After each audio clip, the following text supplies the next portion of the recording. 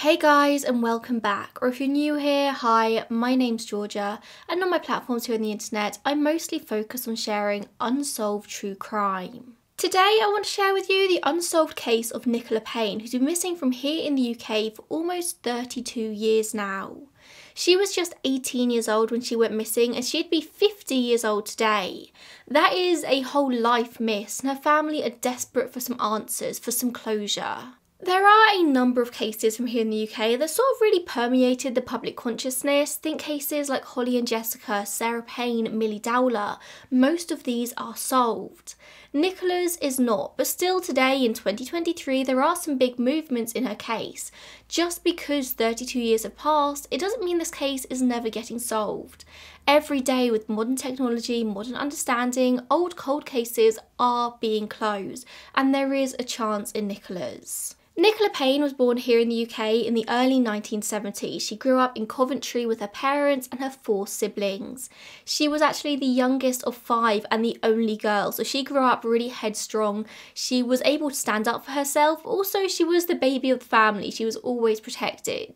You know how it is with siblings. They'll always be the ones to be meanest to you, but also the ones to protect you the most fiercely. And I can imagine that's even more exaggerated when you're the baby and the only sister. At the time Nicola disappeared, her parents sort of looking forward to a new chapter in their life. Their baby Nicola was now a legal adult, she was 18, and they'd had a really tough time raising her and her brothers. Her parents were excited for this new life of parenting grown ups instead of children. But in one day, all that changed. The excitement was replaced with fear and worry. The family lived in Wood End, a residential suburb on the northeast side of Coventry, and at this time it was a very close knit community. They had great neighbours and everyone was very friendly. You wouldn't really expect anyone around here to cause harm to a teenage girl on purpose. However, Coventry as a whole had a crime issue at this time, I mean, still today. It has one of the highest crime rates in the Midlands.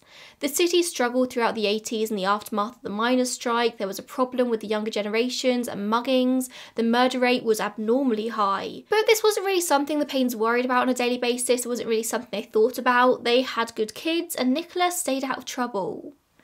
And being an 18 year old girl, Nicola, of course, loved to spend time with her friends and they enjoyed listening to music together. A couple of years beforehand, she'd got into a relationship with a boy called Jason Cook and she soon fell pregnant. Her father, John, said in the documentary about this case, The Never Ending Murder, that you can watch on Amazon Prime, that of course they were very disappointed when they found out that Nicola, their baby girl, was pregnant. Him and Nicola's mum, Marilyn or Maz, also got pregnant at a young age as well, and they knew how difficult it was.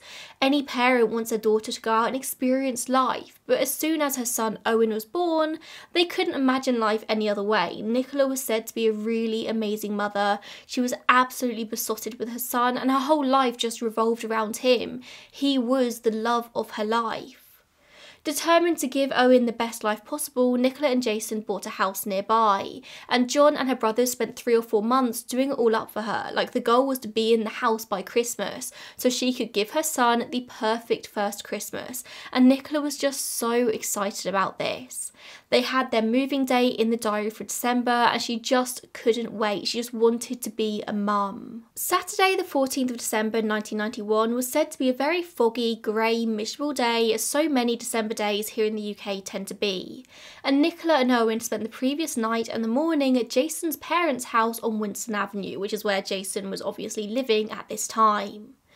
By 12.30pm, Nicola hadn't come home to her parents' house on Woodway Close, and John was really starting to worry. Now, I'm not sure if there had been plans for Nicola to pop back or if she just always came home by a certain time, but we do know that Nicola did indeed leave Jason's to pop back home and pick up the keys to their house that they were about to move into. Just before 1pm, John decides to call Jason and ask where Nicola was. He was really, really worried at this point, and Jason responds that she left alone to walk home about 20 minutes ago. Now, John thought this was strange because A, Nicola never walked anywhere, but also B, because the walk home should have taken her an absolute maximum of 8 minutes, likely more 5 or 6 minutes. If she left 20 minutes ago, she should be home by now. These two houses were really close together. Nicola had grown up in this area. She knew these roads like the back of her hand. She should be home. It's not like she would have got lost. He decides to give it a few minutes before going out to look for Nicola along with his son, one of Nicola's brothers, Nigel. Speaking to Mark Williams Thomas for the Newsquest Investigates podcast, John describes the last time he saw Nicola, saying that he'd been at work all week and he got home on the Friday evening to find Nicola there with Owen. Around 8pm, Jason comes round and Nicola says that she's going to stay at his parents' for the night, so John kisses his daughter and his grandson goodbye, thinking he's going to see them the next day. But of course, he doesn't. You never know when's going to be the last time you see somebody, so always take those moments. So, with Nicola not having come home, John decides to go out and he looks across the fields, hoping to catch sight of his daughter in the distance, but there's nothing. The quickest route between the two houses, and the one that Nicola most likely would have taken, was across an area known locally as the Black Pad, which is a mud track which linked the two different estates in this area. Children would often play on the black pad. It was a bit of sort of a playground area and a pathway on an old railway line. The soil was sort of very dark black in colour, probably from the ash of the coal used on the trains, hence the name the black pad. Whilst the black pad itself isn't a residential area, the area around it very much is. It's very, very built up, and there are constantly people walking across this area. So John and Nigel walk the black pad, they walk to the shops, they go to Jason's house and find him and his brothers sat in the lounge. He asked all of them if they'd seen Nicola, and they confirmed that no, she'd gone home, she'd walked over the black pad. As they walked, they talked to people and asked if anyone had seen Nicola, and no one had. They called around local family members and asked if Nicola had stopped at any of their houses, but she hadn't. Pretty much all the family actually lived around this area on these estates, so if Nicola had a problem, she knew she could stop at any of these houses. I mean, her aunt and uncle literally lived right on the edge of the black pad. She would have gone straight there if something happened while she was walking across, but she didn't. John said his panic was increasing as he walked and looked and couldn't see her anywhere. He contacted Maz, his wife, and she came home from work saying that she just knew that something terrible had happened. She had a feeling in the pit of her stomach. And soon they were fearing the worst. This was entirely unlike Nicola. She wouldn't have just left, especially seeing as she'd left her son Owen at Jason's. As it started to get dark around 3pm, the family realised that they were going to have to inform the police. This was clearly out of their hands. And it's kind of mixed signals as to whether the police took it seriously from the very beginning, because over that first weekend, the majority of this search was conducted by Nicola's family. The police, they sort of took in the report, but they didn't really start looking until the Monday. By the Sunday, the family had the entire estate out looking, sort of wading through the brooks and ditches, looking under every rock. Nobody really wanted to be the one to find Nicola, but they knew she had to be found. And whilst most of the community did rally around them, strangely, Jason and his family, the Cooks, seemed to be sort of less enthused about the search. No one paid it much mind at the time, they all said, everyone was just focused on Nicola. But on the Sunday, Jason and his brothers allegedly came driving across the Black Pad and asked if there had been any luck. When they were told no, nobody had seen Nicola yet, they just sort of like ambled back to their car and left. They didn't join in. Throughout the entire investigation, it's said that the Cooks kept themselves to themselves, although it is said that they did later help the police with their official inquiries, and they cared for Owen throughout the entire process. As I said, the police investigation didn't really truly start until the Monday, although she'd been reported missing on the Saturday. Now retired Superintendent Malcolm Ross became the one in charge of this investigation, saying that he was first informed of the case on the Sunday evening, after all the sort of like usual initial inquiries in a missing persons case had been done.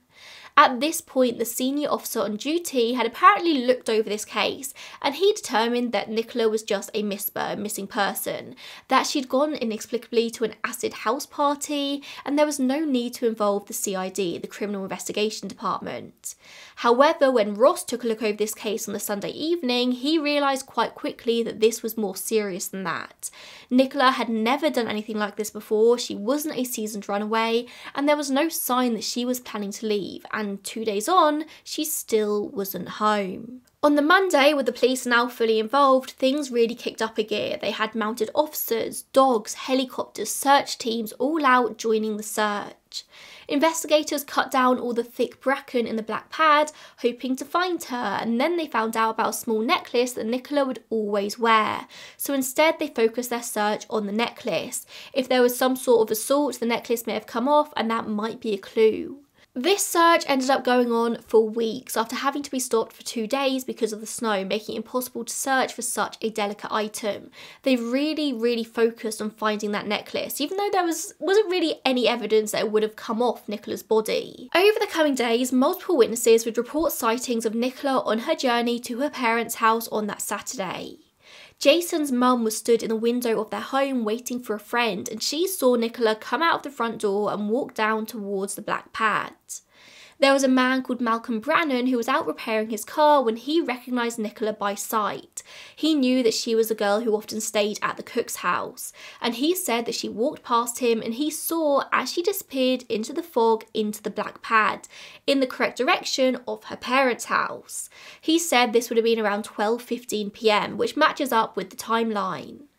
Another witness called Dawn McKay was in the car with her husband and she was discussing how she wanted him to buy her some boots for Christmas. She saw Nicola walking in her pixie boots and pointed her out to her husband, saying that they were the kind of boots that she wanted. However, she reported that Nicola was actually walking away from the black pad, not towards it, and this was around 12:20 p.m. Mark Williams Thomas of the aforementioned podcast NewsQuest Investigates was actually able to access the original case files for Nicola's case, and in reviewing them, he believes that he's come across a witness who was maybe dismissed in the initial investigation but actually holds vital information.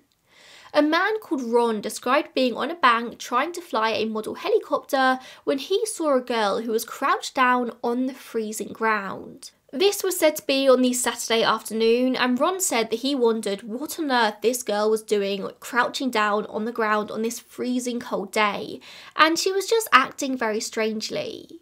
He said he thought at the time about going to see if she was alright, but decided against it and just went on with his day. But he did mention it to his wife when he got home.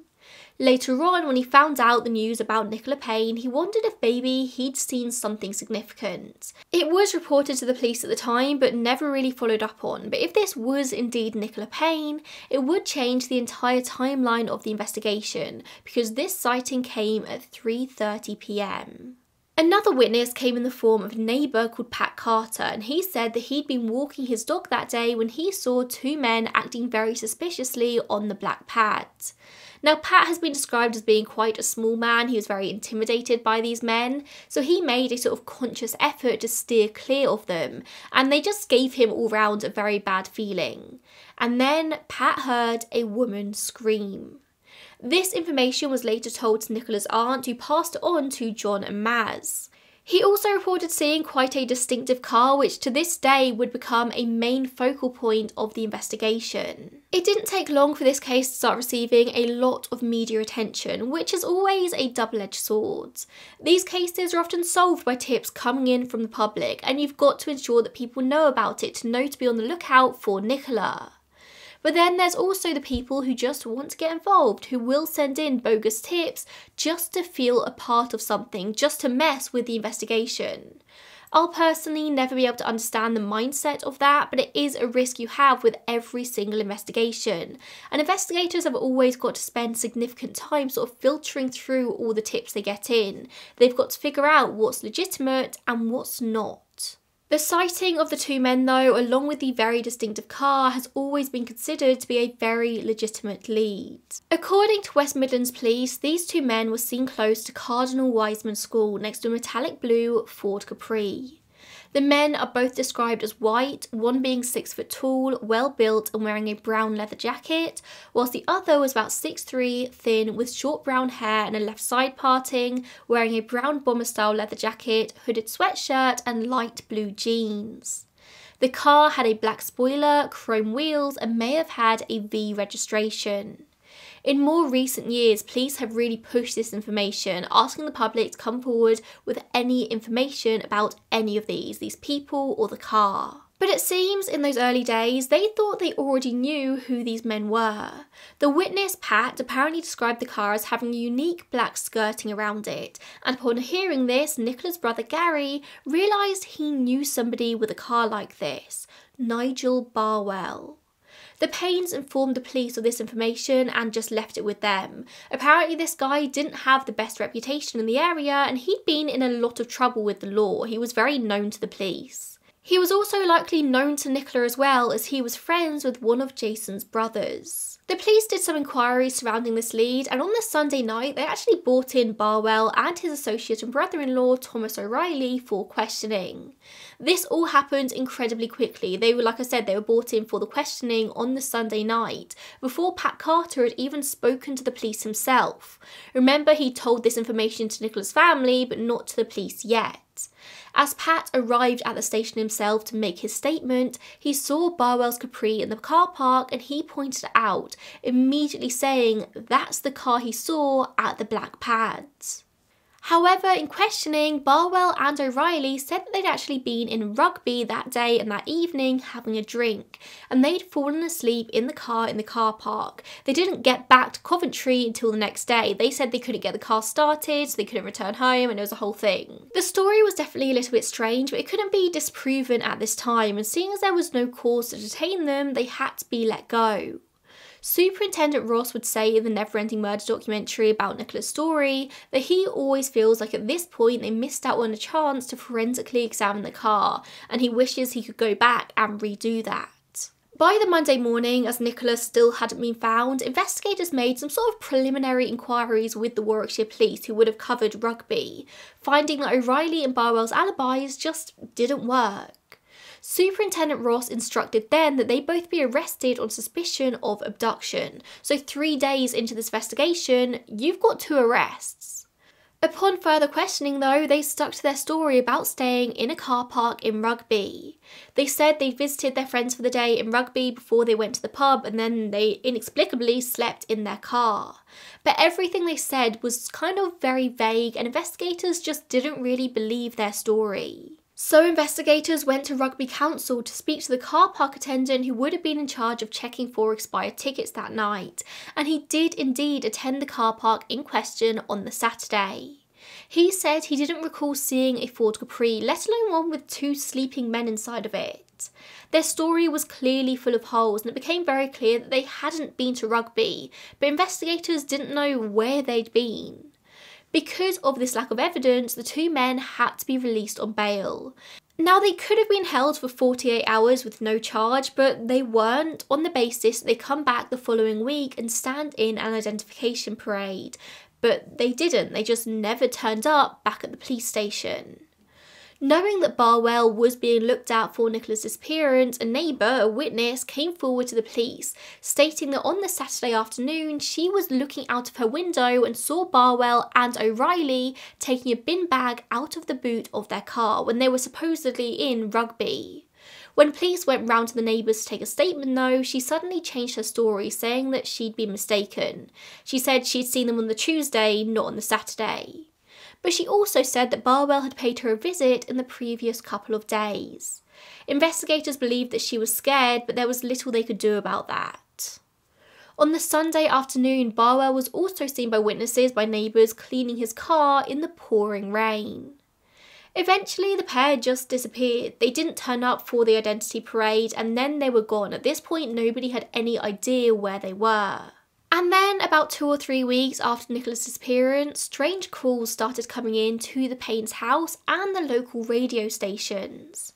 Maz described answering the phone to a man saying, dead or alive, but this was just the icing on the cake. The man on the phone said that he had Nicola. He made threats about what he was going to do with her. Over the course of multiple calls, he said enough things to capture the attention of investigators, and they didn't assume that he was the one responsible. In fact, they assumed it was likely a hoax, but on the off chance it might be something, Superintendent Ross actually went on to the local radio and made a plea for the caller to call back to tell him what he knew and it worked. He called back. They were able to keep him on the line long enough to trace the call. And they were able to trace this to a hotel in Stratford to a member of staff called Christopher Parker. Parker was arrested and interviewed, and he admitted to 18 false calls for which he was later charged and imprisoned. The police spent so many hours tracing this call that could have been much better used for actually searching for Nicola. This did untold damage. It was clear very quickly that he wasn't the one responsible for her abduction, but obviously he messed with the investigation. But this caller wasn't the only one subverting police resources because in a very similar time frame, three more women had disappeared. Julie Dart, Stephanie Slater, and Barbara Finn. Julie was 18 years old. She was kidnapped in Leeds in July 1991, so about five months before Nicola, after leaving her boyfriend's house. Ten days later, her body was discovered in a farmer's field in Grantham in Lincolnshire.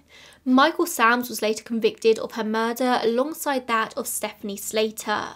Stephanie was an estate agent attending a property viewing on January 22, 1992, when the potential buyer turned out to be Sam who abducted her at knife point.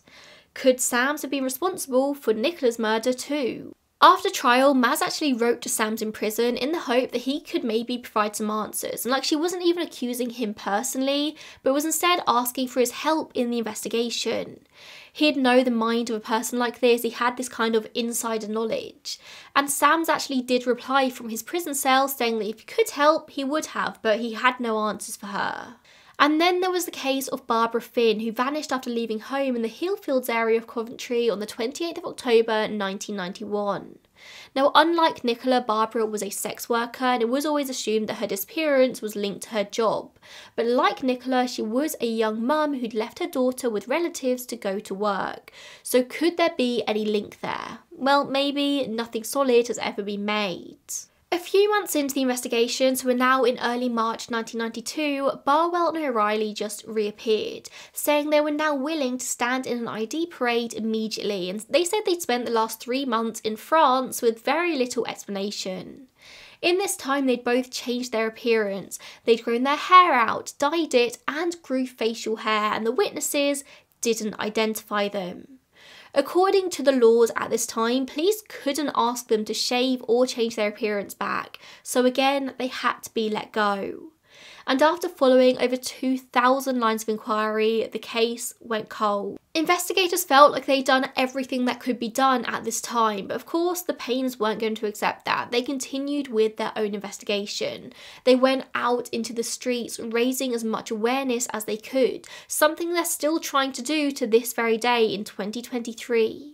As you can imagine, this whole situation was incredibly tough on the family. Maz said that she sat on one end of the sofa for five straight weeks after Nicola disappeared, that she just couldn't move her body, she was frozen. John refused to lock the front door in case Nicola came home, meaning that their sons had to sleep on the living room floor in case somebody tried to break in. They were just keeping an eye out. In all these years, they never changed their phone number, even after eventually moving house. It's said they kept incredibly dignified throughout this entire process, stoic and strong. But in hindsight, it was very clear they were suffering with some form of PTSD, as might be expected. They knew that something terrible had happened to Nicola. Maz said she knew straight away that she'd been murdered. It was just so out of character for her not to come home to just abandon her son. John says that he took longer to come to terms with the fact that she was probably murdered. He said that he was in denial for a really long time, especially as she was walking back home to see him. Of course, it's not John's fault. There's no way he's responsible for somebody else murdering his daughter. But it's really hard to live with that feeling of what if? What if they just done one thing differently? Time passed slowly, and after two years, the Paynes personally offered a £10,000 reward for any information as to Nicola's whereabouts. But eventually, their focus had to turn to Owen, knowing that Nicola would still want them to have a big part in their grandson's life. They did share custody of Owen for a bit, although their access was eventually restricted by court order. But the Paynes say in the Never Ending Murder documentary that they always found it very sort of strange how little involvement the Cooks had in the search for Nicola. Jason always remained in very loose contact, he had to for Owen, but the rest of the Cooks never really showed much interest in the investigation. Nicola's brother points out that if that was the mother of your child, wouldn't you have a sort of vested interest in her being found? Of course, you never know how somebody's going to act in their grief after something like this happens. How do you act? But to just ignore it? The Paynes felt it was very odd behaviour, but what can you do about it? It's not criminal. They didn't do anything wrong. They just didn't react the way the Paynes necessarily wanted them to react. The case really does go cold, but there are a few moments of hope over the next few years. The Paynes make an effort to keep Nicola's name in the press, especially around Christmas, where every year they'd make fresh appeals. They say with each passing year it gets more difficult instead of easier. Each Christmas is harder than the last. They've never quite been able to move past it. All they want is answers. All they want is Nicola's body. In April 1996, following a tip off, the police excavate the garden of a property on Woodway Lane, but despite 12 hours of searching, they find nothing, yet another dead end. In December 1998, John and Maz make a new appeal, but nothing of note comes forward. In 2001, a witness brings forward fresh information which leads to a part of the Oxford Canal in Ansty, which is a village northeast of Coventry, being dredged. Again, nothing is found. Later that year, bones are found near the site of Nicola's disappearance, but they turn out to be animal remains. In May 2005, a series of adverts are displayed on Ford lorries to appeal for new information about Nicola's case, and they remain in place for a year. Again, nothing. Her case is also featured on the TV show The Missing in the December as well. Again, nothing. In March 2007, the Major Investigation Unit finally takes control of this investigation, and it's probably important to note that whilst this case did go cold, it was never officially closed. It was just a case of there were no new leads to follow. There wasn't much point keeping a team actively on it with no information to go off of. But every time new information was brought forward, it was looked into. Now, this is the year that Nicola's son Owen officially turned 16, and he personally made a fresh appeal for his mum. Maz read out a statement at a press conference which he became too upset to attend, saying, My one wish would be to have my mum found to be able to understand the confusion, mystery, and heartbreak of the past 16 years. I was just seven months old when my lovely mum Nikki went missing. Nan and Grandad always say she had a loving bond with me, which was noticeable to all. Sadly, I have no memories of her and I envy my older cousins who remember her very well, and they tell me what a fun loving girl she was. During my early years at school, I wished that my mum could meet me at the school gates as other mums did with my friends. And it seems like this time, finally, this appeal did lead to some new leads because on 1st of November, a 37 year old man from Derbyshire was arrested on suspicion of abducting and murdering Nicola. He was brought in for questioning but was later released on bail. By March 2008, he's let go with no charges brought against him. But following this renewed fire in the investigation, in June 2008, police dig up another garden, this time on Winston Avenue, although they did emphasise they were not interested in the current residents of the home. I can only assume that they moved into the property in the years between Nicola going missing and the search. Around 20 officers are involved in the investigation. They're using specialist radar and x ray equipment. John says at this point to think it could just be there within yards of where I've been looking for 16 years. It's just unbelievable. But once again, nothing ended up being found. Although these sort of like random searches were done following leads over the years, it wasn't until 2012 that the case actually started to be properly investigated again. A detective called Martin Slevin was asked to review intelligence that came in around 2007 or 2008 in regards to an informant's father and brother. This informant told investigators that Nicola had been buried in an area known as Purcell Field, an area of open wasteland about a mile away from the Black Pad. The informant said his father had helped dispose of Nicola's body after his brother, so the father's son and the informant's brother, had knocked Nicola over in his car. A few weeks after Nicola's disappearance, this son committed suicide and interestingly, he drove a dark coloured Ford Capri. This tip off led to a forensic search of Purcell Fields using the latest technology and cadaver dogs. The expectation was that something would be found. This informant seemed really sure of his information, but yet again, they found nothing of note, although many potential witnesses did come forward after this, all telling very similar stories leading back to the same person. The informant and his father would actually be arrested on conspiracy to prevent the lawful and decent burial of a body, and the informant's house was searched along with the father's, but in the end, neither father or son would be charged of anything. It turns out that this informant had told his story to multiple people over the years, and so all the witnesses that came forward after this, or like backing up the story, had just been told it by him. He was just a liar. He wanted to boost his own ego, he wanted people to talk about him, he wanted to be the centre of attention. And because of this, he brought untold pain to Nicola's family, who really thought that the closure they needed was now on the horizon. This was a massive search using massive police resources, and again, it led to nothing. At the time of Nicola's disappearance, Martin Slevins, who'd overseen this whole search, was just a police officer, but by 2012 he was a detective inspector in charge of one of the major investigation teams in Coventry. He spent a lot of time in 2012 with the Paynes and he really got to know the family, he got to know their pain. At this point, he'd only been given permission to look at this sort of like one line of inquiry in Nicola's case, but after a sort of heart to heart with the Paynes, he knew he wanted to give the whole investigation a proper chance again. He knew this was going to be an absolutely mammoth task to go in from the beginning, but it was one that he hoped would be worthwhile, and the force agreed that he could properly reopen this case. So he pulled all of the old documents, 36 boxes of documents, in an attempt to understand this case. A fresh set of eyes might be exactly what was needed on this case, and hopefully, 21 years on, more people would be willing to talk. Slevin's first port of call was to review all of the people of interest from over the years and to ensure that each one had actually been properly eliminated. And as he did that, it left him with just two names that he kept coming back around to Nigel Barwell and Thomas O'Reilly. They still felt inexplicably connected to this case, they couldn't be shaken.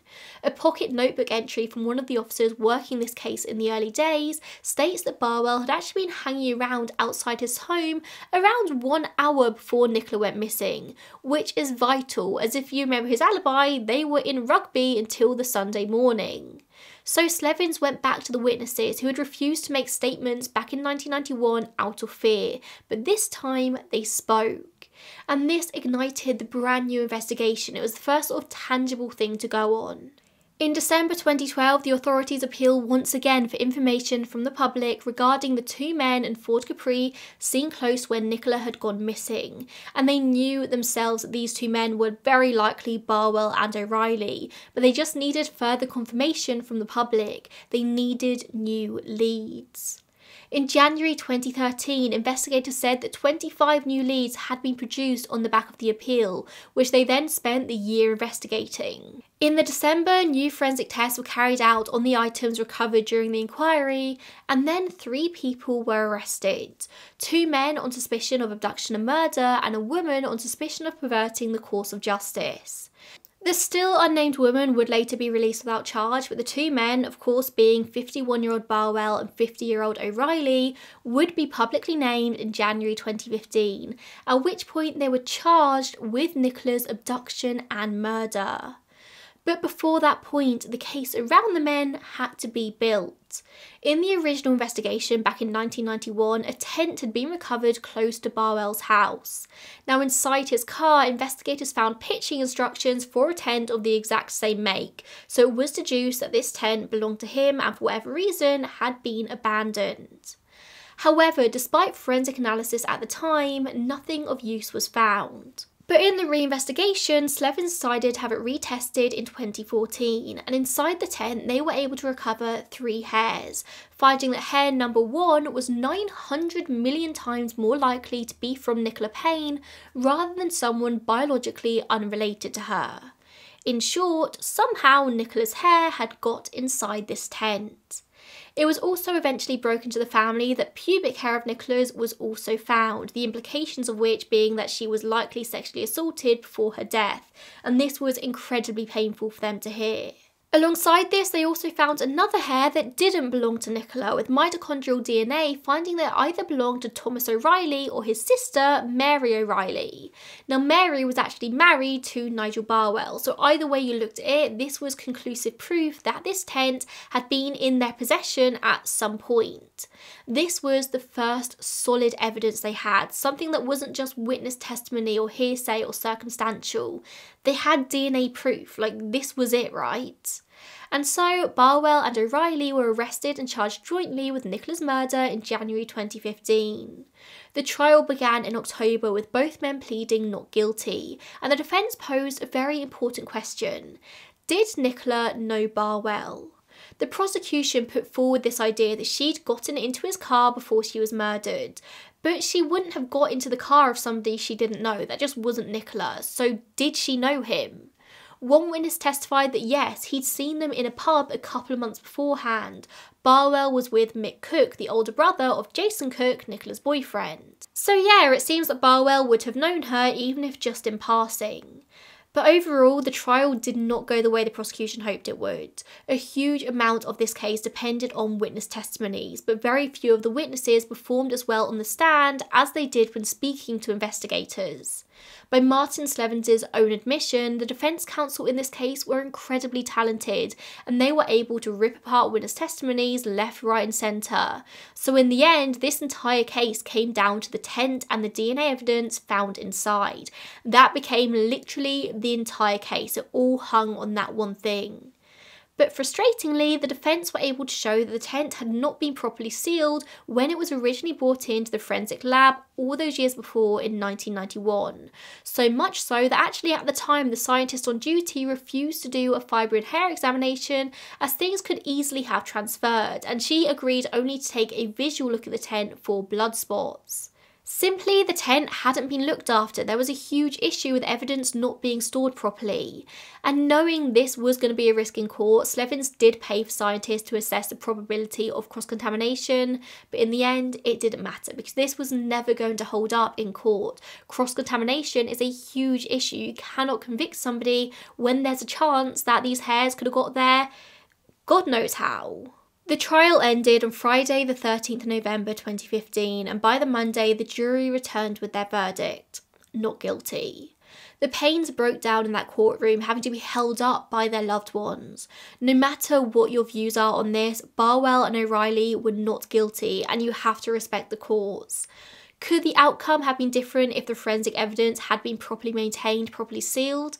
Maybe, but at this point, we'll never know. Out of curiosity, I had a look at our double jeopardy laws here in the UK and found that they were actually scrapped in 2005, allowing police to bring offenders to justice if they have new and compelling evidence against them.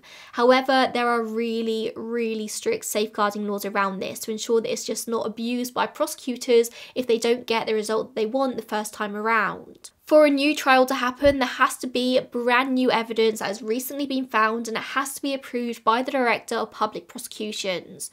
So, yes, technically, if new evidence comes to light, Barwell and O'Reilly could be retried, but chances are that's not going to happen. It has to be pretty much solid evidence, it has to be like 100% proof that they did it. If there's not been any solid evidence against them in over 30 years, there's likely not going to be at this point. As far as law is concerned, they are innocent men, and there's every chance that that is the case. They may well be innocent. But after the outcome of this trial, investigators weren't about to give up on Nicola's case. They wanted to find her body. And the trial did bring a lot of attention to her story, meaning that still people were coming forward with brand new information. In 2016, it was revealed that a new witness had come forward stating that Nicola had been seen with two men at Coombe Abbey Fisheries in Warwickshire on the day of her disappearance. Martin Slevin said, This is the first time we have a definite witness that's pointed us to a specific site, and I'm confident from the information that this has given us that Nicola was brought to that site on the day she vanished. Apparently, on the afternoon Nicola disappeared around 3:30 or 4 p.m., a witness stopped at the fisheries for a bite to eat. He said he noticed a car and saw a man at the passenger door and he said hello as you do. He then saw a second man come out of the woods and the second man said to the first man to grab the witness because he'd seen too much. The witness luckily managed to escape. He jumped back in his car and drove away, but it was a very suspicious interaction. A big question has been why didn't this witness report this before? Well, he said that he never made the connection to Nicola's disappearance until he was watching the coverage of the trial on TV, and they mentioned the blue metallic Ford Capri. The witness said the car in question here was a blue metallic sports car. But again, I do find myself wondering why he didn't report this strange situation at all at the time, even if he made no connection to Nicola. If that was me, I'd probably like call the police and be like, just let you know, this weird thing happened, maybe go take a look. But hey, I'm not the investigator here. Obviously, by this point, hopes have been dashed so many times, but Nicola's family still just want to find her. So a search was done in this area of Coombe Abbey through the dense undergrowth and debris. They sought the intelligence of all sorts of plant experts and scientists. They found old bottles and shoes that had been dumped in the area after the war. And at one point, they thought that some of these boots might be Nicola's pixie boots, but they weren't. This was a huge search using massive amounts of police resources, and once again, nothing came of it. They didn't find anything after a 10 month search. 2016 marked the 25th anniversary of Nicola's disappearance, and the family are still trying to raise as much awareness as possible. Maz appealed to the younger members of her family, fearing her own life was coming to an end. She asked them to never give up, and if Nicola's found, to give her a good send off. The £10,000 reward for information about Nicola's disappearance has stood for many years at this point, but in 2017 the Payne family increased this reward to £30,000 with money out of their own pockets and from fundraising campaigns. In 2018 an anonymous donor offered their own reward of £100,000. Despite the knocks over the years, Nicola's family are still determined to find her. They began to work with a private forensic search team of ex military experts who used sonar and ground radar equipment to search the area around Coombe Country Park. Investigators are now pretty certain that Nicola will be found in this area instead. Again, she's not found, but even if she is, they know that finding a body isn't necessarily going to provide answers as to who hurt her, as to what happened to her on that day in December. Except for maybe if there's forensic evidence found alongside it, there is always a chance. In January 2019, West Midlands Police announced they had new information, and once again, they were working with a specialist underwater search team to examine a stretch of canal between Coventry and Rugby near the Armada boatyard. Yet again, nothing was found. So many searches have been done over the years, and I have no doubt there will be many more to come. But the Paynes just want her to come home. They want her to be laid to rest, to know that she's finally at peace. Given the choice between finding Nicola and bringing her killers to justice, they just want to find her. In February 2021, a vigil is held to mark the 30th anniversary of Nicola's disappearance, at which point her brother Nigel said, We're not chasing to point blame, we're not chasing to put people in prison. All we want is my sister home so my mum and dad can bury her and have a place to go and grieve. It's ruined our family totally, absolutely crucified it, split it into bits. Sadly, in March this year, 2023, Maz Payne died without ever knowing what happened to her daughter. She's described as being a tenacious woman who never gave up, extraordinarily brave and strong. As of now, Nicola's case remains open and unsolved, and the campaign to find her continues through her surviving family members. It is widely believed at this stage that Nicola was abducted, murdered, and then her body was dumped somewhere, likely buried. Despite this bleak probability, her family still hope to find her and have her brought home and buried near their family at long last. Anyone with information about Nicola's disappearance should contact the homicide team on 101 or use the live chat feature west-midlands.police.uk between 8am and midnight. Alternatively, you can call Crime Stoppers anonymously on 0800 555 111. No one is giving up on Nicola or her family. They're determined to find answers, but you can't find answers without leads. Thank you so much for tuning in today and choosing to spend this time with me and with Nicola. Hopefully, there will be answers as to her case. The Payne family are determined to never give up, and I will see you in the next one. Bye, guys.